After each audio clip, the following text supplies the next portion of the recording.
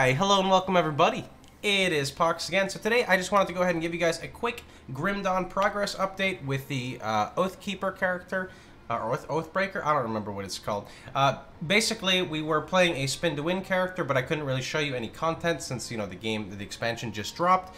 Uh, so our, we, our character is now viably spinning to win, even on the loading screen and startup screen with no monsters. Um, this is a bug that is brand new, but basically, if you've got a character that's spin to win viable, you'll know at the main menu. So, let's go ahead and start, and let me just show you guys. Now, this character is only in Act 1, but I just want to give you guys a few quick tips to get started. Um, so, the first thing to note is, remember, we're going to be an Oathkeeper uh, soldier, but subclass doesn't really matter right now. So, I leveled with Aegis, which is basically bounce. I kept Aegis level 1 and max out Avenging Shield for the bounce. Um, then when you start noticing your damage sucks on elites, start pumping points into Aegis so you can actually kill them.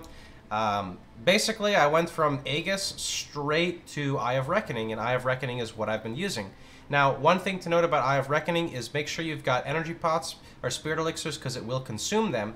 And um, I kind of decided to go all the way and get Soulfire. I probably wouldn't get Soulfire until maxing out Presence of Virtue. And you may, you know, respec here and there, whatever. But the reason why Presence of Virtue is so good is because it gives you flat energy regen, and it gives you flat offensive ability, which are two things that are insanely strong early game. So, um, now I've just got my Guardian of Empyrion. I'm not sure what I'm gonna do now, I think I'm gonna, well, obviously I'm gonna max out Presence of Virtue, and then I'm either gonna go and grab Celestial Presence and Divine Mandate, or I'm gonna go right into Soldier.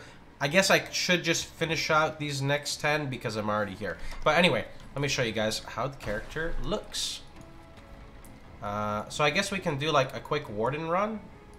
Um, one other thing to note is I did say that this was a shield character. I am using a two-handed sword. Uh, I'm splitting my points between Cunning and Physique. The only reason I'm using a two-handed sword is it's early game. The sword does big deeps. We don't need to survive because we need to do big deeps. Okay, let's put our buffs on. Summon dude number one.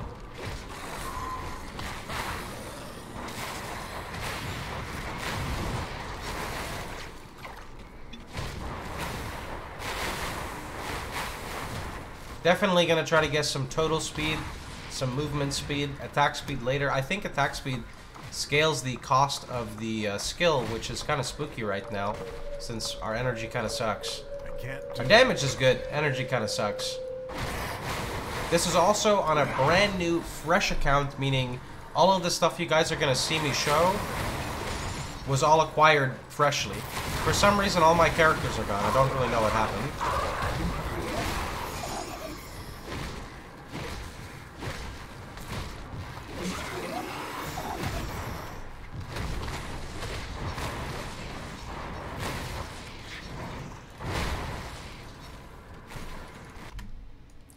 What?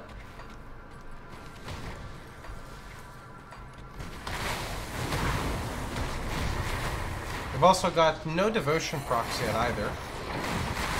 Still setting up the devotion.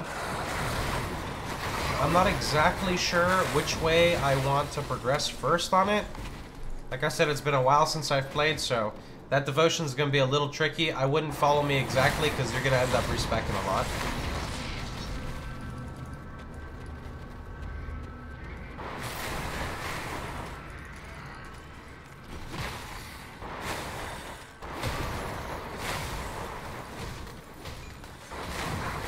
Yeah, I mean, Whirlwind drains a lot early game, but if you look, my energy regen is actually, like, it's much better than it was before. This is with no components. I'm sure if you use things like Ectoplasm, you could manage it, like, not that big of a deal, you know?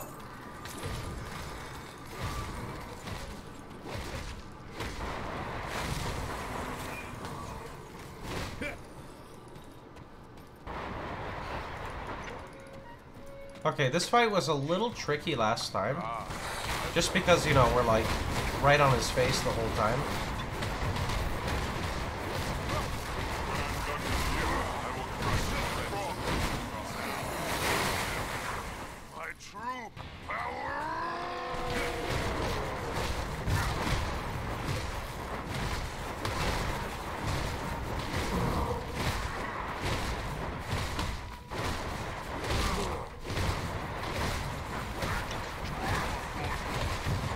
Like I said, the fight was a little tricky.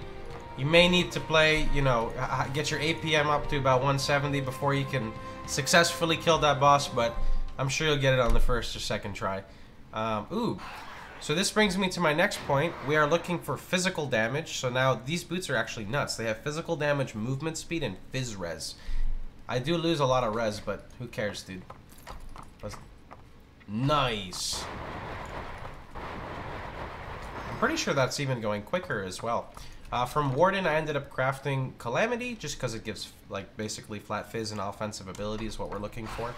Um, so as I was talking about before, with our devotions, I'm currently like kind of torn, right? So right now I decided to get Stag first because you get phys damage and you get like flat phys and percent phys, which is super good.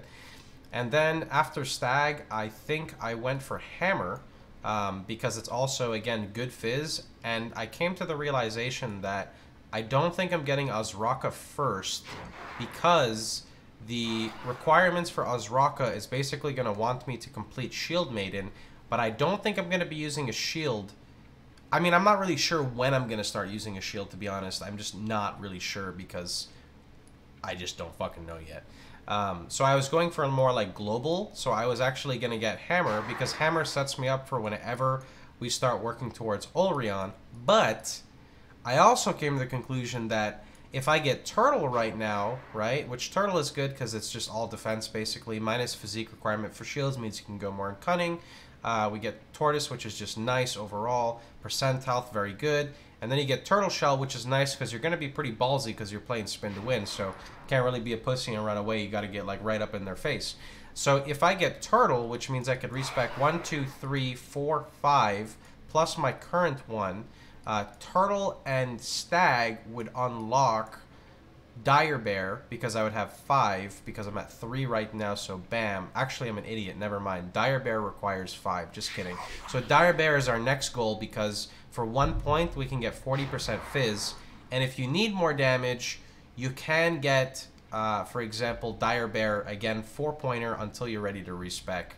Um, but I don't think we're we're we're not using this. It may actually not even be bad because you can put it on Whirlwind, and you know what? That might actually be okay to level with, and then we respec.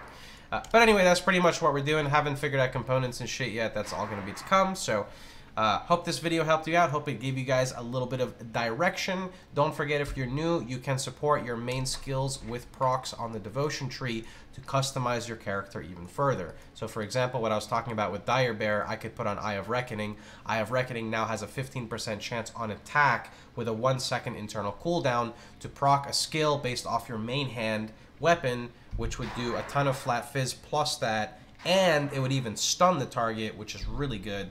So, you know. But anyway, like I said, I hope you guys had a wonderful time. I hope you guys enjoyed yourselves. If you did, please feel free to like, share, and subscribe. And remember, you can catch me streaming live every day at twitch.tv slash Pohx. Take care. Have a wonderful time, everybody.